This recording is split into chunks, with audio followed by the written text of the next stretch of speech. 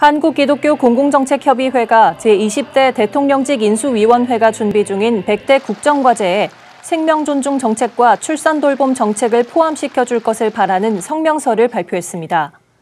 기공협은 성명서에서 새 정부의 100대 국정과제를 통해 생명 존중의 날을 국가기념일로 제정해달라며 이를 통해 자살과 낙태, 아동폭력, 산업재해 등을 예방하고 생명 존중 문화를 확산하는 정책을 펴달라고 전했습니다.